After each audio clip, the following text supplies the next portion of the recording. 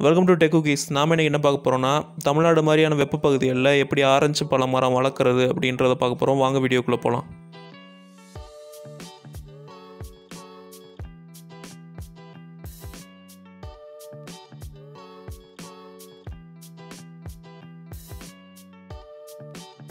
Orange பழத்திலே நாட்டு ஆரஞ்சுன்னு சொல்லிட்டு ஒரு பழ வகை சொல்கிறாங்க தமிழ்நாடு மாதிரியான வெப்ப பகுதிகளில் கூட இது அழகாக வளருது. ஒரு கண்டு நூற்றி இருபது ரூபாலேருந்து நூற்றி ஐம்பது ரூபா வரைக்கும் வாங்கலாம். இந்த வீடியோ எடுத்து மூணு வருஷம் ஆச்சு. அதுக்கு நாலு வருஷம் முன்னாடி வந்து இந்த கண்டு வச்சது. தென்னை மர நிழல்லே ஆறு வருஷம் இருந்தது. கிட்டத்தட்ட ஆறு வருஷம் கழிச்சு தான் மொதல் பூ பூத்தது. ஆக்சுவலாக ஏழாவது வருஷம் எக்கச்சக்க பூ பூத்துச்சு. அதை தான் இப்போ பார்த்துட்ருக்கோம் ஆறாவது வருஷம் அங்கே ஒன்றும் இங்கே ஒன்றுமா பூ பூத்து ஒரு ஒன்றரை ரெண்டு கிலோட்ட பழம் கொடுத்தது. அந்த ரெண்டு கிலோ பழம் கொடுத்ததுக்கப்புறம் அதுக்கு அடுத்த ஏழாவது வருஷம் கிட்டத்தட்ட மல்லிகைப்பூ செடி மாதிரி செடி ஃபுல்லாக வந்து பூ வந்தது. ஏற்கனவே சாத்துக்குடியில் இப்படி தான் சின்ன செடியாக இருந்தாலுமே செடி ஃபுல்லாக பழம் வச்சு பழம் பழுக்கிறதுக்கே கிட்டத்தட்ட ஏழு மாதத்துலேருந்து பன்னெண்டு மாதம் வரைக்கும் வரும். அதாவது பூ வச்ச நிலமையிலேருந்து பழம் வர வரைக்கும். இதுவும் எலுமிச்சை சாத்துக்குடி ஆரஞ்சு எல்லாமே ஒரே சிட்ரிக் பழ வகைன்றனால அந்த பழம் எவ்வளோ தான் கனமாக இருந்தாலும் அது தாங்குகிற அளவுக்கு இதோட தண்டுக்கு சக்தி இருக்குது அது ஒரு சின்ன கலையில் பார்த்தீங்கன்னா எந்த பிரச்சனையும் இல்லாமல் ஒன்று ஒன்றரை கிலோ வரைக்கும் பழங்கள் காய்ச்சி தொங்கும். பிரச்சனை என்னென்னா வெளியே எவ்வளோ தான் முள் மரங்கள் எவ்வளோ தான் செடிகள் இருந்தாலுமே சரி கிட்டத்தட்ட ரெண்டு தடவை பாம்பு சட்டை வந்து இந்த செடியில் பார்த்தோம். ஆறு வருஷமாக சின்ன பூ கூட வைக்கும் அப்படின்ற ஒரு நம்பிக்கை இல்லாமல் இருந்த செடி பூ வச்ச பிறகு இப்போ பிஞ்சு வச்சுருக்கு. இது கிட்டத்தட்ட எட்டு மாதத்துக்கு முன்னாடி எடுத்த வீடியோ. எலும்பிச்சை பழ மரத்தில் வர்ற ஒரு பச்சை கலர் புழு வந்து இந்த ஆரஞ்சு மரத்துலேயும் வரும் சாத்துக்குடி மரத்தில் அதாவது சிட்ரிக் பழ வகை மரத்துங்க மரங்கள்லேயும் வந்து வரும். அது ஒன்றுமே நம்ம பண்ண முடியாது. சாம்பலை வேணால் அள்ளி தெளிச்சு விடுவாங்க. அது ஒர்க் அவுட் ஆகுமான்னு தெரியல. ஆனால் கொஞ்சம் வருஷமாக ஆரஞ்சு மரத்தில் அந்த புழுக்கள் நான் பார்க்கல. மேக்ஸிமம் பிஞ்சு வச்சது எல்லாமே பழமாக வந்துருச்சு. இது பழுக்கிறதுக்கு மொதல் ஸ்டேஜ் பழம் லைட்டாக மஞ்சள் பூசி வந்துருச்சு.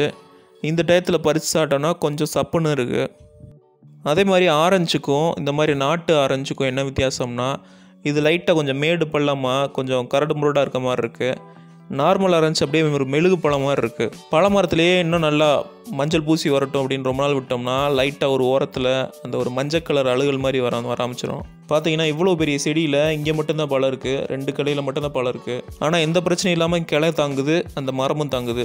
இதோட பூ வைக்கிற சீசன் பார்த்தீங்கன்னா இப்போ பூ வச்சிருக்கு அதாவது மார்ச்சில் பழம் இதில் மஞ்சளாகி நான் பிடுங்கும் போது கிட்டத்தட்ட பிப்ரவரி ஆயிடுச்சு கிட்டத்தட்ட பன்னெண்டு மாதம் பழம் முழு சைஸுக்கு வந்த பிறகு கருங்காய் மாதிரியே இருக்கும்.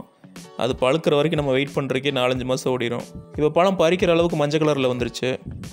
மொத விளைச்சலாக இருந்தாலுமே பழங்கள்லாம் நல்லா பெருசாகவே வந்திருந்தது. நம்ம தோட்டத்துக்கான இடம் ஒரு மூணு சென்ட்டு தான் இருக்கும். அதுக்குள்ளே தான் எல்லா பழவகை மரங்களும் வைக்கணும்னு ஆசைப்பட்டு கிட்டத்தட்ட ரெண்டு மீட்டருக்கு ஒரு பழச்செடி வச்சோம். அது ரொம்ப பெரிய பிரச்சனை என்னென்னா நல்லா வளர்கிற செடி நல்லா வளர்ந்து கொஞ்சம் ஸ்லோவாக வளர்கிற செடி வந்து நிழலை கொடுத்துரும்.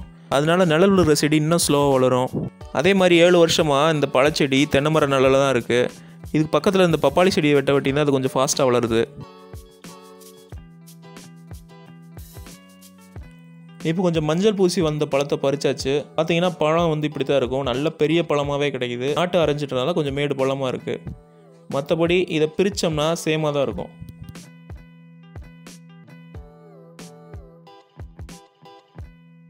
இது பழச்செடியிலேருந்து பறித்த கம்ப்ளீட்டாக பழுத்த பழம்.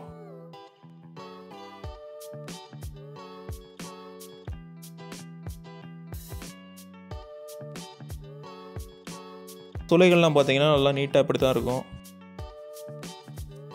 ஆறு ஆரஞ்சு பழத்தை எடுத்து ஜூஸ் போடலாம் அப்படின்னு எடுத்தோம்னா ஆறு ஆரஞ்சு பழம் சின்னது பெருசுமாக எடுத்து ஜூஸ் போட்டால் ஒரு மூணு டம்ளர் ஆரஞ்சு பழம் ஜூஸ் தான் வந்தது. சாத்துக்குடி அளவுக்கு நிறைய ஜூஸ் ஆரஞ்சு பழத்துலேருந்து வர மாட்டேங்குது. சாத்துக்குடியும் ஆரஞ்சு பழத்தையும் ஒரே வீடியோவை போட்டலாம்னு நினச்சேன். ஆனால் வீடியோ இன்னும் கொஞ்சம் லென்த்தாக வரும். ஒரு சாத்துக்குடி வீடியோ மட்டும் பார்க்குறவங்க சாத்துக்குடி பார்த்துக்கலாம். இல்லை ஆரஞ்சு வீடியோ மட்டும் பார்க்குறவங்க ஆடி ஆரஞ்சு வீடியோ பார்த்துக்கலாம். யூடியூப்பில் தேடி எடுக்கிறதுக்கும் ஈஸியாக இருக்கும். அடுத்து சாத்துக்குடி வீடியோ போடுறேன். அப்புறம் கார்டனில் எப்படி மூணு வருஷத்துக்கு அப்புறம் என்னோடய பழம் வகை மரங்கள்லாம் இப்போ எப்படி இருக்குது அப்படின்ற ஒரு வீடியோவை போடுறேன். இந்த வீடியோ உங்களுக்கு பிடிச்சிருந்தா அந்த வீடியோ ஒரு லைக் கொடுங்க. உங்கள் ஃப்ரெண்ட்ஸோட ஷேர் பண்ணுங்கள் ஏதாவது சந்தேகம் இருந்துச்சுன்னா கீழே கமெண்ட்டில் கேளுங்க. எல்லாத்துக்கு மேலே டெக்கிஸ் நல்லா சப்ஸ்கிரைப் பண்ணுங்கள் தேங்க்ஸ் ஃபார் வாட்சிங்